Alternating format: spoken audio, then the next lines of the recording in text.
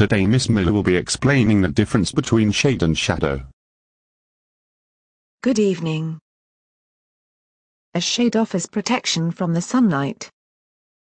This telephone booth is in the shade. A shadow is a dark shape that appears when there is sunlight or another source of light. This happens when there is something or somebody between the source of light and the surface.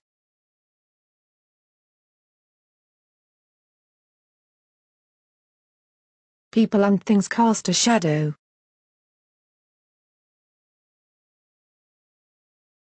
But vampires are different. A vampire has no reflection in a mirror. Nor does he cast a shadow.